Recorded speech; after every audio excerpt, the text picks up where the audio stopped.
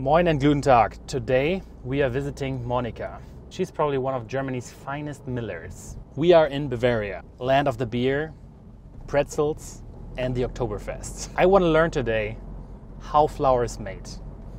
And I have some tricky questions up my sleeve. I'm very interested in what is the excellent, what is the best flour for making a sourdough bread. And I'm hoping that Monica is able to answer me all my questions. Now, today is going to be a special interview because it's going to be in the German. I'll be adding some subtitles, but be prepared for some German.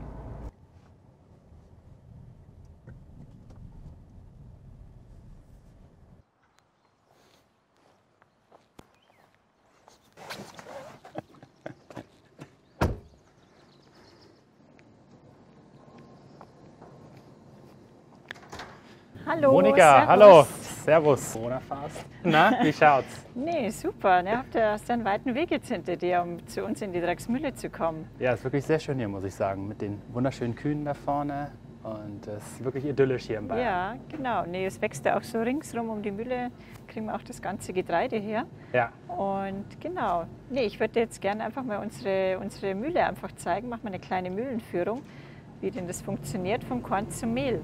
Ich habe hier auch noch äh, so eine kleine Übersicht äh, mal mitgebracht. Einfach mal so unsere, unsere Mühle, einfach mal so als Querschnitt, die, äh, die vier Stockwerke. Als die- Malbuch. Als Malbuch. ja, genau. Also, wenn du brauchst jetzt eigentlich natürlich in deinem Alter kein Malbuch, aber äh, jetzt hier einfach mal äh, für die Leute, äh, äh, dass wir das ein bisschen besser darstellen können, wie die Mühle im Endeffekt letztendlich funktioniert. Also wir durchwandern jetzt einfach mal alle vier Stockwerke. Well, I definitely need to upgrade my drawing skills because they're pretty much non existent. So, offering me this drawing book is definitely appreciated. Auf der Internetseite konnte ich jetzt noch gar nicht genau sehen. Die Mühle ist ja schon relativ alt. In welcher Generation macht ihr denn das jetzt hier eigentlich in der Mühle? Genau, also ich mache das praktisch jetzt in der, in der vierten Generation. Wow. Wobei das jetzt hier an dem Standort gibt es ja die Mühle schon seit 1534. Yes, you heard right. 1534. Flour has been made in this area for longer than the USA is old. Okay. Und mein Urgroßvater hat das Anwesen äh, 1912 gekauft. Ja.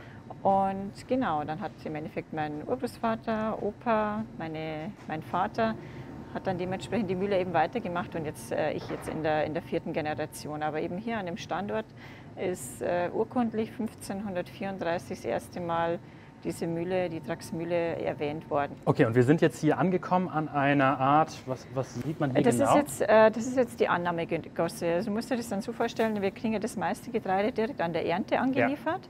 Da bringt der Bauer das äh, Getreide frisch vom Feld. Äh, wir untersuchen es dann im, im hauseigenen Labor. Also das sind wir ganz gut ausgerüstet, wo wir wirklich die ganzen Qualitäten einfach untersuchen können. Und wenn das passt, dann äh, fährt der Landwirt hier rückwärts her, kippt es ab. Also es sind natürlich dann alle Deckel offen. Und das ist, äh, jetzt sage ich mal, unsere Annahmegosse. Da kommt das Getreide rein. Da ist unten ein, ein kleiner Rädler und eine Schnecke, ein Abtransport. Ähm, bringt es, sage ich mal, äh, dann ist dazwischen noch ein Elevator. Das ist wie so ein Becherwerk.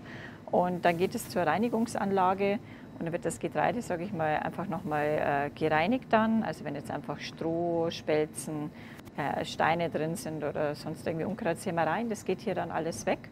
Und dann wird das Getreide in den Silos nach äh, Sorte und Qualität dann eingelagert. And because I'm a hopeless case of drawing, I figured I need some practice and I'll show you the full process one more time on the drawing book Monica gifted to me. So, after cleaning, the grains go into the silo for storage. Wichtig ist halt, dass das Getreide dann auch trocken ist, dass es, sage ich mal, gut lagerfähig ist und dann, sage ich mal, äh, wir können ja über 1000 Tonnen äh, Getreide lagern und dann, sage ich mal, dann, dann wohnt bei uns, sage ich mal, das Getreide dann. Und wir ziehen halt dann, je nachdem, was wir vermahlungstechnisch einfach brauchen, ziehen wir das aus den Silos wieder raus, geht wieder über eine Reinigungsanlage und also über eine zweite und geht dann, sage ich mal, auf die Vermahlung, dann auf die, auf die Mühle.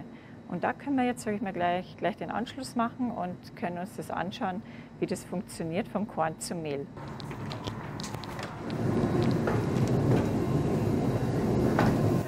Ja. Okay. Was sehen wir denn hier Schönes? Genau, wir sind jetzt praktisch äh, vor dem Walzenstühlen. Das sind unsere Vermahlungsmaschinen, wo wir, sage ich mal, auf äh, insgesamt 16 nacheinander folgende äh, Malpassagen äh, unser Getreide vermahlen dann. Also jetzt ähm, malen wir gerade momentan äh, Dinkel und da ist Dinkel? Dinkel, genau. Und hier ist jetzt sagen wir, die Besonderheit, äh, dass wir nur die äh, Ursorte Oberbrunner Rotkorn vermahlen. Das ist, sage ich mal, eine alte Dinkelsorte, die nicht äh, mit Weizen eingekreuzt ist. This is a great piece of knowledge to know, especially when baking with spelt. Most modern spelt variations behave very similar to wheat when mixed in a dough. In my experiments, I could replace wheat for spelt flour and the dough behaved very similar. If you want a traditional spelt type, you will have to do a little bit of research and read the packaging of your flour. Also es ist wirklich und man merkt es auch in der Verarbeitung, dass der ein bisschen anders ist. Die Teige sind, sage ich mal, eher weicher, aber äh, einfach geschmacklich äh, ist dieser Hammer. Also es gibt viel äh, mildere, äh, süßlichere Gebäcke und es halt einfach, sage ich mal, viel aromatischer als wie so ein überzüchteter Dinkel dann. Okay. Genau, man sieht jetzt ganz deutlich, hier ist eigentlich, sage ich mal, der abgesiebte Schrot, der ist, äh, kommt hierher und wird dann, sage ich mal, wieder weiterverarbeitet. Hier sieht man ja ganz schön dann die, äh, genau, hier sieht man, sage ich mal, den Schrot nochmal.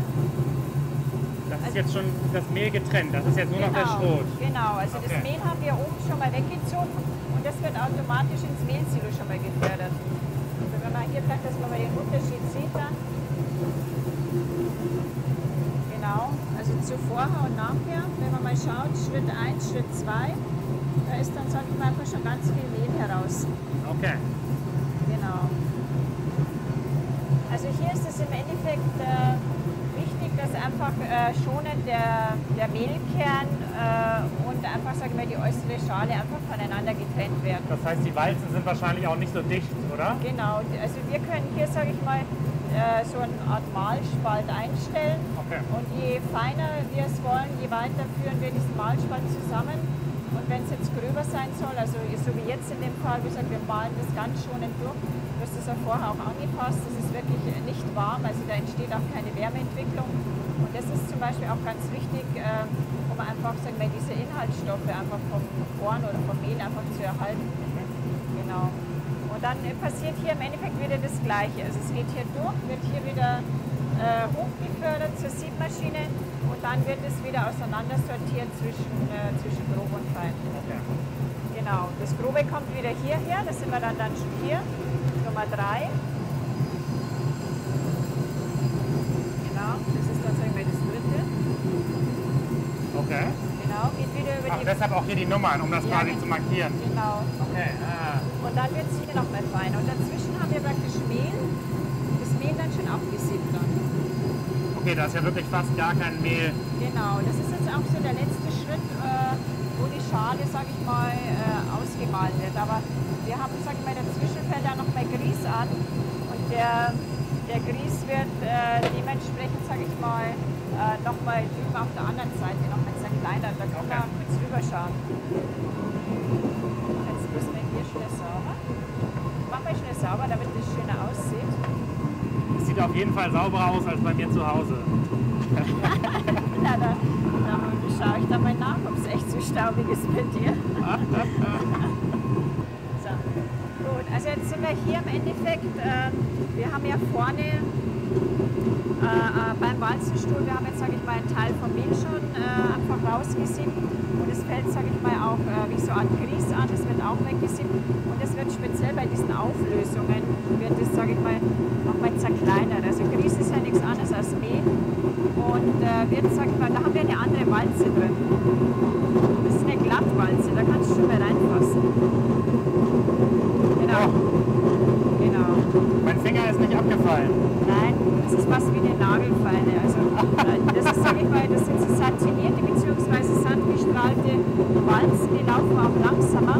Also vorne haben wir, sag ich mal, bei den Walzen eher eine Schnittwirkung, wo es aufgeschnitten wird oder geschrotet in dem Fall. Und hier ist es so, dass hier praktisch, es wird fast wie gepresst. Das können wir uns natürlich gern mal anschauen, weil dann siehst du es besser, weißt du? Genau, also hier haben wir zum Beispiel äh, die Grieße, die hier anfallen. Einmal hier ein groben Grieß, das wäre das da, und ein Feingrieß. Und das, äh, sag ich mal, das pressen wir jetzt, sage ich mal, oder malen das jetzt, sage ich mal, auf dieser Malpassage, äh, erste Auflösung, zweite. Und äh, genau, Genau, da fällt natürlich das meiste und das hellste Mehl an, an diesen Passagen. Das wäre für den Grießbrei hier? Genau, du kannst Okay. also äh, ideal, wenn jetzt, äh, da kann man Grießnockerl draus machen aus dem da und hier kannst du Grießbrei machen. Okay. Also, genau, da machen wir jetzt mit zu, weil dann machen wir nochmal einen Blick auf die Walzen. Die sieht so aus. Und dann äh, machen wir einen Blick nach unten. Dann. Müssen die Walzen eigentlich gekühlt werden? Nein, das Wichtige ist nur, dass sie optimal eingestellt sind. Dann werden die nicht warm. Also das muss im Endeffekt so funktionieren, dass die Walzen nicht zu warm werden, weil sonst erwärmt sich natürlich auch das Okay. Gemahlene. Genau.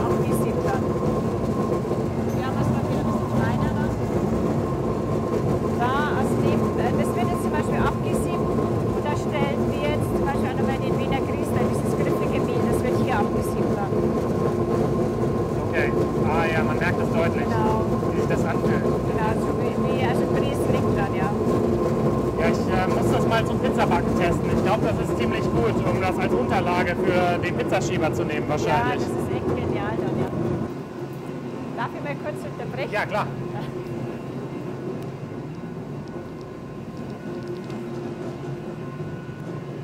So Monica knows everything about the milling process and it's exciting to see how she just random, randomly pulls some levers and she knows exactly what to do. And now we have a situation, she just has had to run out to check on something. But yeah, incredible to see how it's going here. So Monika, du musstest jetzt noch mal ganz kurz intervenieren. Was war da gerade das Problem? Was musstest du lösen?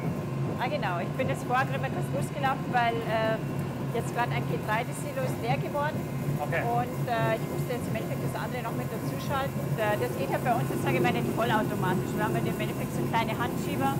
Man sieht jetzt, jetzt äh, fördert es wieder. Wir, wir verfolgen jetzt einfach mal äh, das, äh, den Weg einfach Ja. vom, vom Korn oder vom Gemahlenen nochmal. Dann gehen wir einfach vielleicht gleich mal äh, ganz nach oben, wo wir im Endeffekt die Siebtechnik haben, Okay. dass man sich das hier einfach besser vorstellen kann.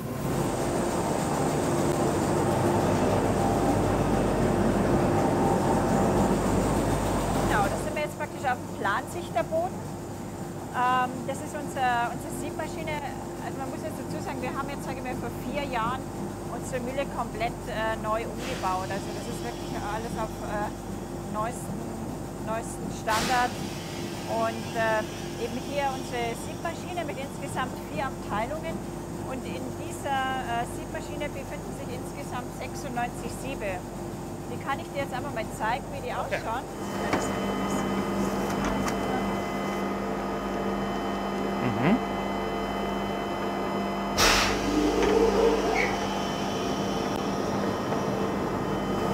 So, ja, ich habe jetzt hier einfach mal äh, so verschiedene Siebe einfach mal für dich aufgebaut, um das einfach mal zu sehen, wie denn das, sage ich mal, in dem Plansichter aussieht. Also das sind äh, eben diese 96 Siebe drin und wir haben ja insgesamt äh, 16 Vermahlungsschritte und die, äh, für jeden äh, Vermahlungsschritt äh, gibt es, sage ich mal, einen Siebstapel mit zwischen ähm, 4 und 6 Sieben beispielsweise. Das ist jetzt um die Mehltypen dann herzustellen. Ja, genau. Mhm. Und das Okay. ist jetzt so, sage ich mal, das Gemahlene von unten, das kommt auf dieses Sieb drauf. Das ist, sage ich mal, relativ grob, das hat 850 μ. Da wird, sage ich mal, einfach schon mal der Schrot abgesiebt und alles, was über das Sieb dann drüber geht, fällt wieder nach unten und wird dann praktisch im zweiten Vermahlungsschritt wieder weiter vermahlen. Okay. Das, was jetzt im Endeffekt hier durchfällt, kommt dann, das, das haben wir natürlich nochmal andere Siebe, das fällt hier jetzt drauf. Da wird jetzt, sage ich mal, äh, zwischen Mehl und Grieß getrennt. Der Grieß geht über das Sieb drüber. Weil das ein bisschen grobkörniger das ist. Das Gröbere, genau. Und das geht dann beispielsweise wieder auf diese Auflösungen, die wir uns vorher angesehen haben, wo, wo die äh, verschiedenen Grieße waren. Genau. Das jetzt hier drunter fällt, das sind dann praktisch dann die Mehle. Und wir haben hier natürlich auch noch zwei verschiedene Mehlsiebe. Also ein ganz feines, das ist 112 Mehl von der Größe. Also es ist wirklich das feinste Mehlsieb, das es gibt. Und da werden beispielsweise die äh, ganz hellen Mehle wie 405 oder auch 550, das wird hier abgesiebt. Let me pause here for a second and do a quick explanation of the German flour types as they might be a little bit confusing. We always give them a number. The number represents, if you burn 100 grams of that flour at 900 degrees Celsius, how much ash in milligrams remains. So, the higher the number, the more minerals you have, and the more parts of the seed and bran are still inside of the flour. Just to give you an example, cake flour is just pretty much the starch part of the grain. That's why only 405 milligrams of ash remain when you burn 100 grams of that particular flour. Whole wheat doesn't have a type as it's just a full seed. That's why you will never see a type in Germany on packaging for whole wheat flour. Also, just to bust the common myth, the American bread flour is the T550 flour, similar to the all purpose flour. It's just a better selection of wheat which naturally has more protein. Some mills also add gluten to get the same quality of flour. I don't know why, but the internet has this wrong almost everywhere. Sorry for the rant, let's continue. Wäre das beides? Wäre das hier 405? Genau, das wäre jetzt praktisch, sag mal, das ist ein, ein Sieb, das hat die gleiche Bespannung mit 112. Okay. Äh, das ist dann im Endeffekt alles gleich dann. Könnte ich denn auch zu Hause, wenn ich mir mein eigenes Mehl malen würde, könnte ich mir dann auch mein eigenes 550er herstellen oder wäre das relativ kompliziert? Das wäre im Endeffekt machbar. Äh, du äh, bräuchtest halt im Endeffekt dann einfach verschiedene Siebe dazu. Okay. Das heißt, erstmal müsstest du dann den, den, den Schrot erstmal wegsieben und dann bräuchtest du halt wirklich noch ein feines Mehlsieb. Aber da ist es vielleicht so, wenn du das mit der eigenen Haushaltsmühle malst, dann da fällt natürlich jetzt im Endeffekt letztendlich nicht so viel an. Okay. Du hast immer mal irgendwo immer diese Schalenteile dabei, die wir natürlich jetzt durch diese verschiedenen Siebgrößen einfach dann optimal trennen können. Und die würde ich ja immer kleiner malen, die ganze Zeit die Schalenteile. Und kann es sein, dass ich die auch so klein male, dass sie am Ende hier durchkommen? Ja, genau. Also okay. Also wenn, wenn, du die Schale jetzt, ja. wie gesagt, dann mit dieser Haushaltsmühle noch mal malen würdest oder sei es jetzt irgendwie auch Verstehe. Thermomix, dann, dann würde es halt dann da durchfallen und dann hast du natürlich mehr Schalenanteil drin und dann würde die Type dann äh, höher werden. Und da erklärt sich ja auch, äh, erklärt sich das auch mit den Typenmehlen. Also die, diese, äh, diese Typen, äh, was weiß ich, wie beim Dinkel 630 oder 1050, das erklärt immer den Mineralstoffgehalt einfach vom Mehl. Und je mehr Mineralien das einfach mit dabei sind, äh, je dunkler ist natürlich auch das Mehl. Also Vollkorn hat ungefähr 1700. Genau, und wir in der Mühle, äh, jetzt ist zum Beispiel so, wir, wir malen das immer chargenweise. Wir malen jetzt gerade äh, Dinkelmehl 630 und äh, da ist natürlich dann die Mühle dann dementsprechend drauf äh, eingestellt. Dann. Also die Siebe bleiben immer gleich, aber dazwischen können wir äh, die, äh, sage ich mal, bestimmte Sachen einfach nach, äh, sage ich mal, einfach äh, zu feiner leiten, zu gröber leiten und dann stellen wir halt die Mühle dann dementsprechend so ein, dass einfach, sage ich mal, helles Mehl einfach rauskommt. Letztendlich wird, sage ich mal, das ganze Korn von innen herausgemahlen, das helle Mehl weg und die Schale, die Kleie, die kommt dann in ein extra Silo. Okay. Wir sehen jetzt hier zum Beispiel mein, mein Müller, der Toni, wir äh, ziehen das gerade ein Zwischenprodukt raus, das wäre der Wiener Griesler. Da können wir dann äh, gerne nochmal schnell rüberschauen. Genau, das läuft jetzt hier äh, separat äh, raus. Also das heißt, wir sage ich mal, aus der Vermahlung mit raus, wird dann pneumatisch überhoben und landet hier in den Säcken. Aber wir haben hier schon mal was vorbereitet. Das wäre jetzt hier, sage ich mal, der Wiener Griesler, das griffige Mehl. Wow, wie sich das anfühlt. Also wenn du jetzt deine Spezialpizza machst, das ja. wirklich dann zum, äh, für die Teige, dass sie sich besser ablösen und es gibt auch noch eine, eine gewisse Knusprigkeit dann noch. Ja, das ist... Wir stellen das aus Weizen und aus, äh, aus Dinkel her. Aus Weizen und aus Dinkel aus machen Dinkel. das?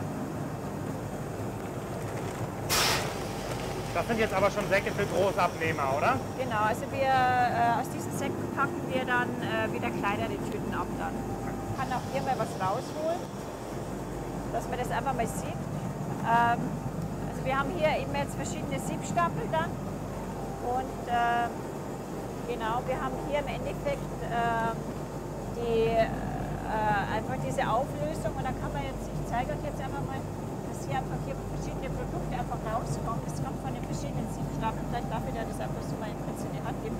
Das wäre jetzt einfach ganz normales, helles, glattes Mehl. Das ist jetzt, sage ich mal, eins der hellsten Mehle. Das hat also so die Type 405 dann.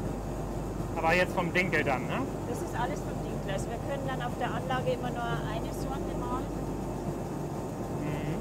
Genau. Da haben wir jetzt, sagen wir so ein Zwischenprodukt.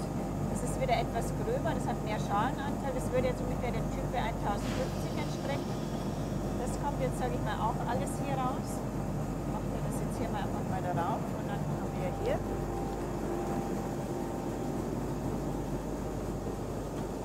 Genau, also hier haben wir dann zum Beispiel, das ist so eher von, äh, von hinten, von den letzten Malungen. Das ist zum Beispiel wie feine Kleie dann. Das ist jetzt einfach nur feine Kleie. Das ist feine Kleie Die. Randteile des Mehls, des Genau, Randteil das, des äh, Korns. das kann man jetzt so rein nicht zu backen verwenden. Also eher vielleicht so ein bisschen als Geschmackszugabe dann. Und äh, also bei den, beim Vollkornmehl ist das dann, im Endeffekt ist das dann hier dabei. Spannend. Da habe ich jetzt zum Beispiel ein Mehl, das ist ein bisschen dunkler. Wenn ich das mal hier, das ist ein Ticken dunkler, wenn wir das hier mal machen. Ah ja, mhm. ja man sieht es Da dann. sieht man den Unterschied. Genau, es kommen hier praktisch dann, sage ich mal, ganz verschiedene äh, Produkte einfach raus. Und die müssen wir dann, sage ich mal, einfach dann richtig leiten. Das ist ein kleines Leitsystem. Die Mehle, die gehen dann automatisch, äh, werden die dann pneumatisch äh, schon in ins Mehlsilo einfach gefördert dann. Wie zum Beispiel die Produkte, die werden einfach dann nochmal weiterverarbeitet und wenn das mal alles ausgemahlen ist, kommt das zum Beispiel ins Kleisilo. Und ähm, sagen wir, die, aus diesen ganzen verschiedenen Mehlen können wir, äh, wie so eine Art Collier, vielleicht beim Wein, können wir dann äh, hier auch diese verschiedenen äh, Typen einfach dann herstellen. Und das schauen wir uns dann ein Stockwerk tiefer einfach nochmal an, weil da kommen, das mal, von allen 16 Malungsstufen kommen die Mehle zusammen.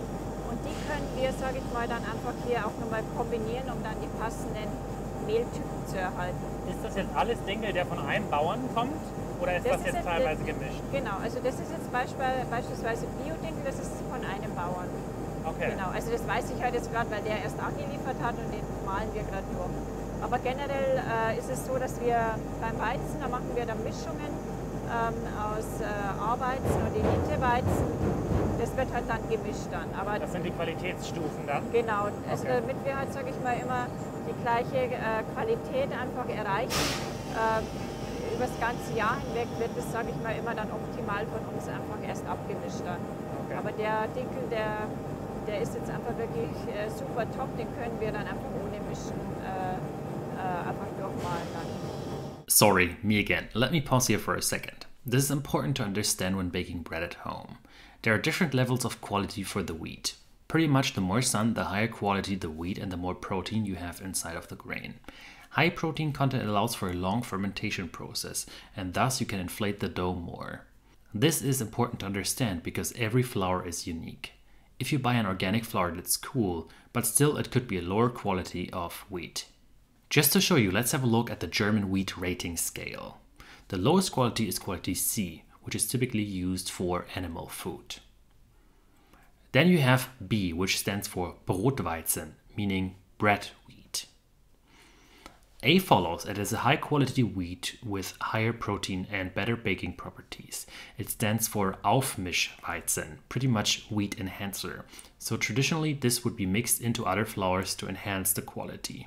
Now, the best quality of wheat is called E-Weizen, literally translated elite wheat. This one has the highest protein amount and the best baking properties. The high gluten allows it to be used for very long fermenting doughs, and thus you'll have a lot of oven spring. Now, I'm explaining you this because every amazing bread starts with great flour, and that's the point I'm trying to make. If the basis is bad, then it will be hard to bake a great bread out of it. Understanding this definitely helped me to stop baking flat pancakes at home, as I was more aware of the quality of the flour that I need. So, summing this up, picking the right flour is essential. A good rule of thumb is to choose flour which has a higher protein content for sourdough bread making. Sorry for geeking out. Bye! Ja, daraus will ich jetzt mal ein Brot backen direkt am Ja, es besten. wird ein kleines Brötchen. Es wird aber ein kleines Brötchen Ein kleines Brötchen. Ja?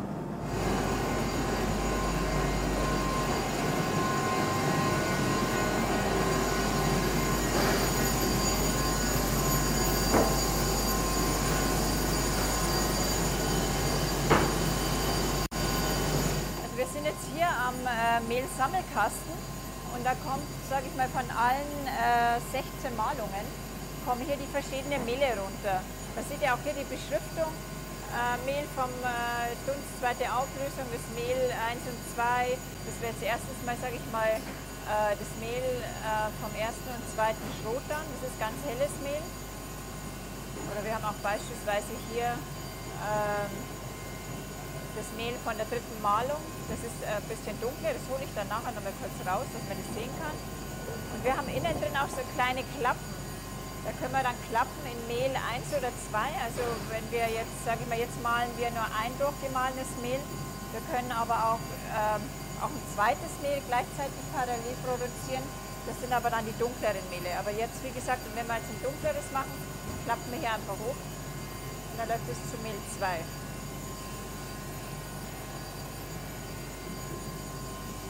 Das wäre jetzt mal das Mehl von der dritten Malung. Man sieht, es ist schon ein bisschen dunkler. Mhm ich dir das nochmal in die Hand geben darf. Dann.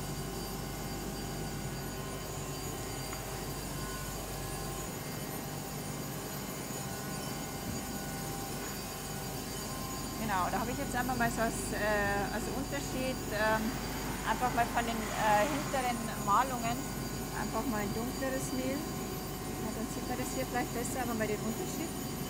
Hm. mhm. genau. Ja, das hier ist deutlich dunkler als das. Genau hol mal, warte mal kurz, mhm. ich das schneller.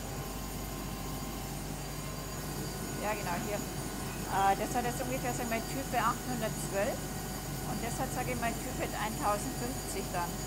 Nochmal eine doofe Frage, aber das 1050, das enthält ja immer die anderen Mehle, richtig? Also in dem 1050 ist ja letztendlich das hier und das mit drin noch, oder? Genau, also jetzt ist es so, dass ähm, wie, so wie wir jetzt malen, da fällt ganz, ganz viel helles Mehl an und da kann, sage ich mal, das einfach noch mit dazu laufen, weil das äh, erste Mehl, das hat ja vielleicht höchstens 400 äh, von der Type.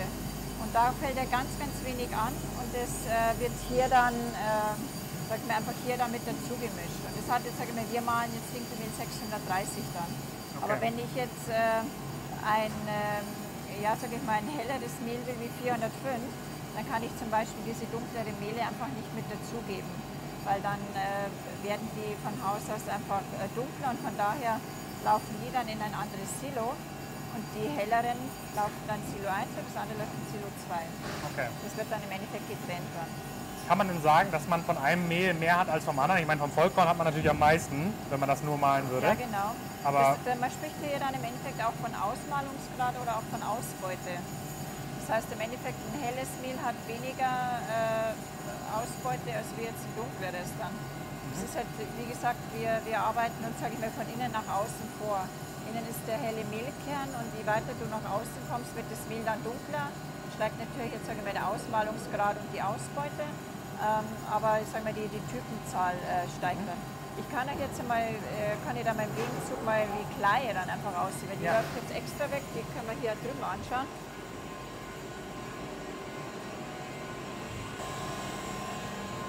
Genau, also das ist jetzt so, das ist jetzt nur die Schale vom Korn, nur das braune Außenrum, das sieht so aus.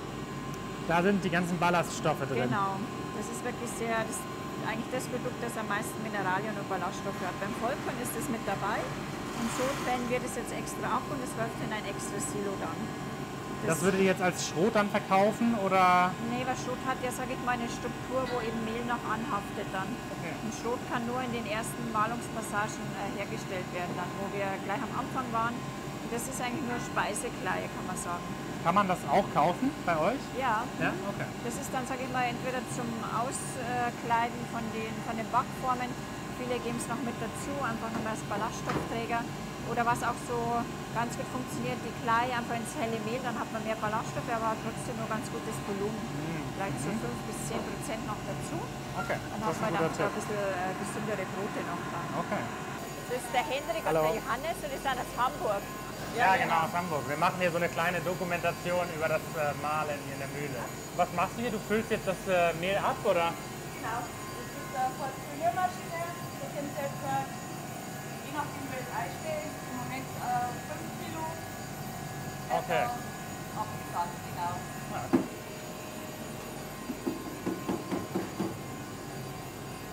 Dass Sie hier noch alles richtig handarbeiten. Ja. Also das ist jetzt so, dass dieses äh, das Roggenmehl, das ist ein bisschen schwer, ist schwierig zum Abfüllen, weil es eher so, das ist so ein klebrigeres, Okay. äh, schliffigeres Mehl ist. Wie auch beim. Brotbacken dann letztendlich. Ja, genau. Okay. So, so ist es im Endeffekt irgendwie auch so von der, äh, das rutscht jetzt nicht so optimal dennoch dann. Okay. Super, Dankeschön.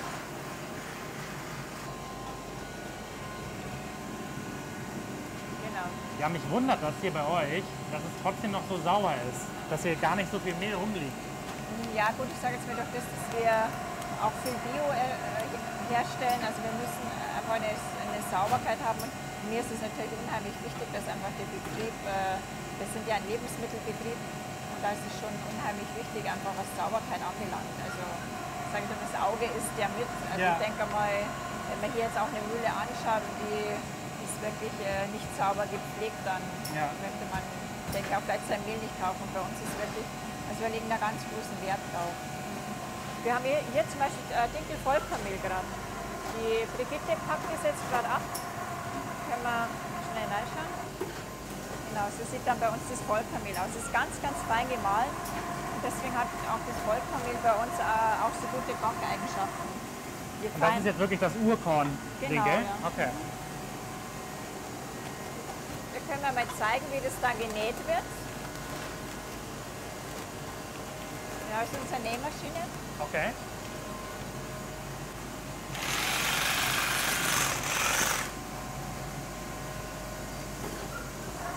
Das sieht ja gefährlich aus. Nee, das ist äh, ganz easy.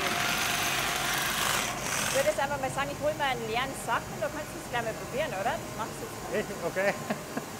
Genau, du nimmst einfach im Endeffekt die Maschine und drückst da unten, ist wie, wie wenn du Gas gibst. Drückst einfach den Knopf hier und dann, äh, genau. Okay, ich probiere es mal. So daran. Jetzt drück drauf. So. Ja. Ja. Ja, schaut doch gar nicht so schlecht also aus. ich glaube noch 1000 Mal versuchen und dann sieht es halbwegs so schön aus wie das. Schon mal nicht schlecht fürs Erste, oder? Danke, das äh, bedeutet mir viel. Den werde ich als Andenken mitnehmen. Ja, gut. Ich habe noch mal eine ganz wichtige Frage. Wofür ist dieser Hammer hier? Wenn wir, äh, wenn wir im Endeffekt dann einfach äh, unartige Gäste haben, dann kriegen die den drauf. Nein, Spaß. nein, nein, Spaß beiseite. Äh, genau, also es kann ja mal sein, dass einfach mal die Mühle mal nicht optimal eingestellt ist und da kann es dann, sage ich mal, einfach schon mal zu, äh, wir sagen ja dann auf bayerisch Schanzereien kommen. Also das ist, äh, sag ich mal, dann sind die Rohre halt irgendwie einfach voll und dann haben wir diesen Hammer, klopfen wir halt ans Rohr hin, damit es einfach wieder dann frei wird. Dann.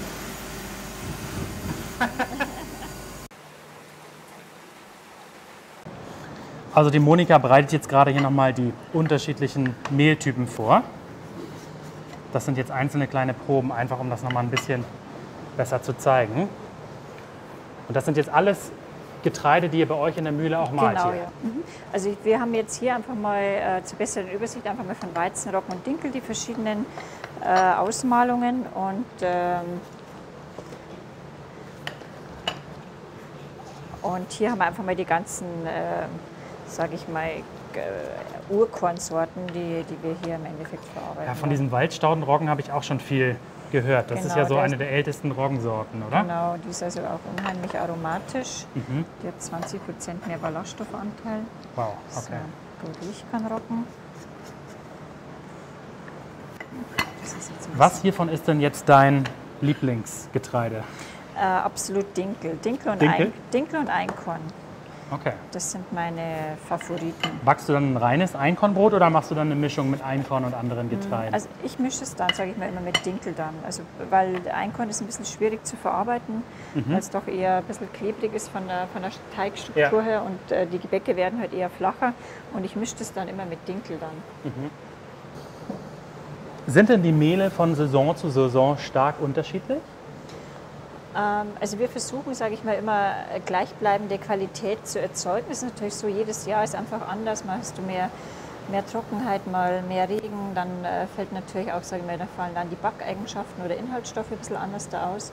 Also wir versuchen das, äh, sage ich mal, dann aufgrund unserer Erfahrung und einfach ähm, auch mit den verschiedenen Qualitäten, die wir da haben, dass wir das einfach mischen, dass man hier einfach wirklich keinen so großen äh, Unterschied einfach äh, erkennt in der Übergangsweise oder Übergangsphase.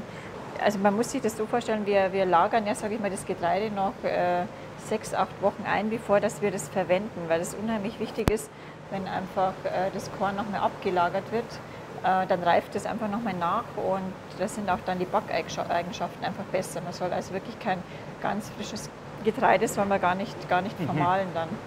Genau, und wir haben dann immer so viel äh, Puffer oder so viel Menge auch noch da, dass wir dann, sage ich mal, bis in den September einfach reinreichen äh, mit der Menge dann. Also Ernte ist bei uns dann immer Ende Juli ungefähr. Ende mhm. Juli, Anfang August. Und Wie wichtig ist denn die Sonne für die gesamte Produktion? Also genau, jetzt einerseits kommt uns ja die Erderwärmung äh, zugute, weil durch die, diese Wärme äh, haben wir natürlich auch viel mehr Proteinanteil, viel mehr Kleberanteil. Das ist jetzt, sage ich mal, einfach mal der, der gute Nebeneffekt einfach von der, von der momentanen, äh, oder sagen wir, von der Situation, die wahrscheinlich noch, noch extremer irgendwann mal wird, ähm, dass wir hier bessere Backeigenschaften haben. Ähm, einerseits ist es aber so, dass natürlich die Erträge einfach weniger werden. Okay. Genau, aber wie gesagt, äh, für uns ist es jetzt der Vorteil, dass wir halt einfach da wirklich unheimlich gute, ähm, gute Backeigenschaften haben. Wir können das hier mal, das haben wir einfach generell von den Mehlen einfach nochmal durchgehen, mhm. weil hier sieht man es ja ganz gut. Hier haben wir dann Dinkelmehl 630, das ist das ganz helle Dinkelmehl. Dann hier den Wiener Griesler oder Dunst auch für. Der hat jetzt keinen Typ hier, ne? Der Dinkeldunst. Genau. Warum nee, das, nicht? Weil im Endeffekt sagen wir, das ist einfach die, die Granulation Dunst, Griesler, das ist einfach hier maßgebend, aber entspricht, sage ich mir, auch der helleren Type 630. Mhm. Dann eben das 1050, man sieht ja da schon, das sind ein bisschen mehr Schalenteile mhm. eben mit dabei. Äh, bei dem Ruchmehl, das ist, sage ich mal, das produzieren wir nach Schweizer Art. Das ist ein helles Mehl, das mit einem feinen Schalenanteil versetzt wird und eben hier das, äh, das Vollkornmehl. Und dann haben wir, sagen wir, das gleiche, sage ich mal, ähm, in, in Rocken. Da ist es so, dass äh, es gibt ja, sage ich mal, in Deutschland eine, eine, eine Norm, eine DIN-Norm, äh, die im Endeffekt, sage ich mal, die Typenzahl regelt. Das heißt, wenn der Verbraucher jetzt ein Mehl kauft, das jetzt beispielsweise 1150 hat, dann muss es, sage ich mal, einfach die, die Farbe, diese Dunkelheit haben oder Helligkeit auch, ähm, damit man halt einfach sagen wir, dass es vergleichbar ist. Da gibt es, sage ich mal, so einen gewissen Bereich, mhm. wo diese Type reinfallen soll, ähm, hat aber überhaupt nichts mit der, mit der Qualität zu tun. Mhm. Genau, die Qualität ist, sage ich mal, einfach das, was der, der Müller, sage ich mal, einfach produziert. Aber die Type ähm, ist einfach dann, sage ich mal, einfach dann das Indiz dafür, welche Helligkeit das Mehl dann hat. Und hier haben wir ja dann auch ganz helles Mehl. Also diese, dieses Type 610 ist eigentlich so eine inoffizielle südbayerische Type. Das gibt es eigentlich nur bei uns. Okay. Also bei euch in Hamburg gibt es es nicht. Ähm, und zwar, äh, wir fertigen daraus ein spezielles Gebäck, das in Schmalz gebacken wird, wie Schuchsen und Hauberlinge. Mhm. Genau, und da wird eben dann dieses Mehl dazu verwendet, dieses Roggenmehl. Komplett Roggenmehl oder gemischt? Das wird dann gemischt mit Weizenmehl. Okay. Ähm, aber sage ich mal, durch diesen Roggenanteil hat es einen unheimlich herzhaften Geschmack. Das wird also dann, sage ich mal, sieht dann diese äh, Hauberlinge, das sieht aus wie so, so kleine Krapfen. Da kommt aber auch, äh, sagen wir, in den Teig Bier und Kümmel mit dazu. Mm. Und das ist dann für äh, entweder Riragu oder Gulasch zum Eintauchen. Das schmeckt also unheimlich gut für herzhafte Sachen. Und hier haben wir dann, sagen wir, einfach noch einen 97, 1150. Also das sind die typischen Brotmehle. Dann haben wir 1370, das wird ganz gern auch für dunkle Brote verwendet und für Sauerteig. Und auch hier das Vollkornmehl eben zum Sauerteig ansetzen. Warum würde man das hier nehmen und nicht gleich das Vollkornmehl? Das ist mir immer nicht ganz klar. Weil ja, das genau. ist ja schon fast am Vollkorn dran. Genau, also hier sind ja so die gröberen Schalenteile beim Vollkornmehl mhm. noch mit dabei. Und ähm, ich sage jetzt mal, äh, da wird halt, sage ich mal, mit dem 1370 der Sauerteig etwas milder und mit dem Vollkorn wird er halt sehr kräftig dann. Mhm, okay. Weil, sage ich mal, diese, diese Schalenteile, die geben halt, sage ich mal, dem Sauerteig Ein auch nochmal. Äh, genau. Hier haben wir halt, sage ich mal, auch nochmal klassisches Weizenmehl, 550. Das kennt man ja hauptsächlich, sage ich mal, aus, aus dem Baguette- und Ciabatta-Bereich dann, eher für, für helles Gebäck äh, oder auch für Pizza. Und dann haben wir 812, das, da geht schon mehr in Landbrot, kräftige Brotsorten.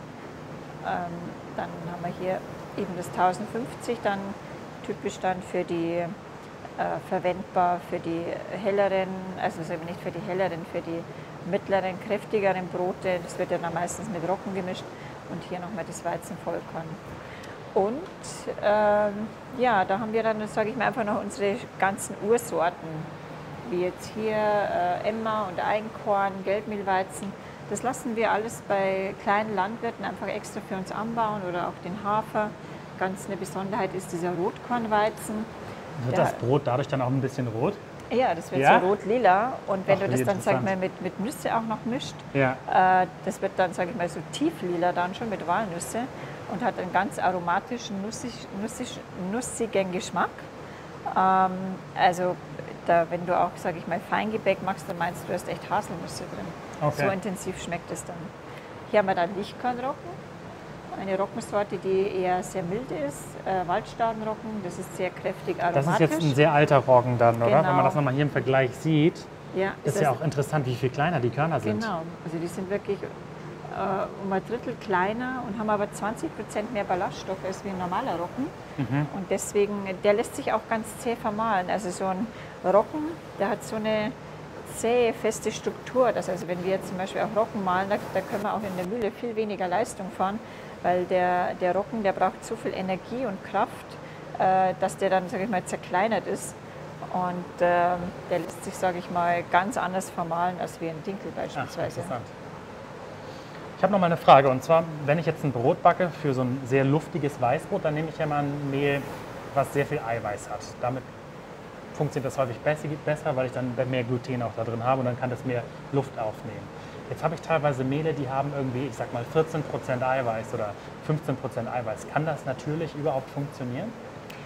Ähm, also wir ähm, haben im Endeffekt, sage ich mal, äh, Mehl, das so viel äh, äh, Proteingehalt hat, aber da braucht man dann einfach äh, spezielle Sorten einfach dazu. Mhm. Und äh, generell muss man vielleicht jetzt dazu sagen, dass äh, bei vielen Mehlen auch extra nochmal Gluten einfach mit dazu gemischt wird. Okay um diesen Wert einfach zu erreichen. Bei uns ist es jetzt wirklich so, dass wir sagen, okay, bei uns gibt es nur Natur pur mhm. und da wird nichts reingemischt an äh, Gluten oder auch an Enzymen okay. dann. Aber dementsprechend ist dann wahrscheinlich auch ein Mehl, was von natürlich so viel mehr Eiweiß hat, auch ein bisschen teurer, kann ich mir vorstellen. Ja, genau, weil okay. das ist dann so, dass natürlich ähm, bei diesen Sorten auch viel weniger wächst auf dem Feld und dann muss man natürlich auch den Landwirten da auch mehr bezahlen mhm. dafür, mhm. für diese Qualität. Also das äh, muss man halt auf jeden Fall ausgleichen. Könntest du jetzt anhand dieser Mehle sehen, was ist ein gutes Mehl von der Qualität? Kann man das irgendwie fühlen, wenn ich jetzt im Supermarkt ein Mehl kaufe? Oder muss ich da auf die Inhaltsstoffe achten, wo das Mehl herkommt? Weil teilweise sieht man sowas, als zum Beispiel Vitamin C oder sowas. Genau, es wird Ascorbinsäure. Ja. Genau.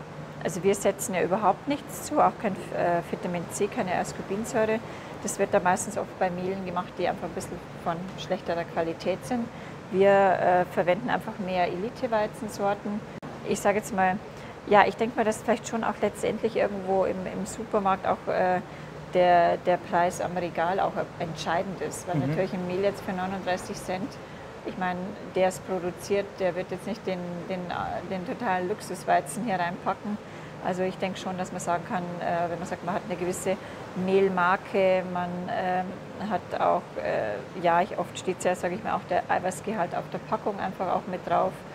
Und ähm, ja, ich sage jetzt einfach mal, diese Billigmehle äh, sind einfach wirklich viel, viel schlechter von der Backqualität. Okay. Da wird mhm. einfach dann, sage ich mal, einfach so Massenweizen, Massenweizen. verwendet. Okay. Jetzt kaufe ich mir so ein gutes Mehl und wie kann ich denn das Mehl am besten lagern zu Hause? Wie würdest du das lagern und wie lange hält sich denn das Mehl? Also das Mehl auf jeden Fall kühl und trocken lagern. Mhm. Ähm, am besten einfach äh, in, einem, in dem Papiersack einfach lassen. Mhm. Und ähm, wichtig ist, dass man sagt, auch äh, fernhalten von Fremdgerüchen. Also das heißt jetzt vielleicht nicht unbedingt das Mehl dann neben, neben dem Putzmittel irgendwo dann einfach lagern, weil das, das kann schon sein, dass dann Mehl sowas mit, mit annimmt. Aber wichtig ist einfach kühl und trocken. Mhm. Und äh, die Haltbarkeit, äh, die richtet sich ja äh, nach der Helligkeit vom Mehl. Hellere Mehle sind länger haltbar, äh, einfach mit Sicherheit auf jeden Fall ein Jahr und dunklere Mehltypen einfach kürzer, weil da ist dann, sage ich mal, mehr Schalenanteil, mehr Keimlingsanteil noch mit dabei. Und äh, das kann natürlich, sage ich mal, einfach dann äh, eher, eher schlecht werden oder baut sich halt auch so ein bisschen mehr ab dann. Okay. Das war echt interessant. Gerne, ja. Also ich hoffe, ich habe dir dann mal die, die Müllerei ein bisschen näher bringen können. Ich weiß jetzt auf jeden Fall, was ich vielleicht zu Hause bei meiner kleinen Mühle zu Hause ein bisschen anders machen muss. Vielleicht muss ich mir auch mal so eine große Mühle kaufen. Ja, dann viel Spaß dabei. Ich kann dich ja dann anlernen, wenn es ist. Wie lange dauert das? Also die, die Ausbildung geht drei Jahre dann. Ja. Und, äh, aber ich sage es mal, als Müller lernt man nie aus, weil man hat ja, sage ich mal, so viele verschiedene Rohstoffe. Und das ist immer wieder auf jeden Fall eine Her Herausforderung, äh, weil du musst immer wieder auf das, auf das Produkt einfach eingehen. Das ist ja nicht Standard. Und äh, ja, deswegen macht auch der Beruf so viel Spaß, einfach mit dem Naturprodukt einfach zu arbeiten. Ja. Vielen Dank auf jeden Fall. Es Ja. war wirklich sehr schön. Und äh, ja, bis bald. Bis bald. Danke. This has been an amazing day, and I learned one more time how important flour is for baking amazing bread. If the quality of your flour isn't good, then your bread is also not going to be as good as it could possibly be. Choosing the perfect flour is going to elevate your bread baking game. Just as passionate as I am about making bread, Monica is as passionate about making flour. It was amazing to see how the grain turned into different kinds of flours. So, yeah, lesson learned from me using amazing flour is going to elevate your sourdough baking game. Thanks a lot for watching. Time to head back home to Hamburg.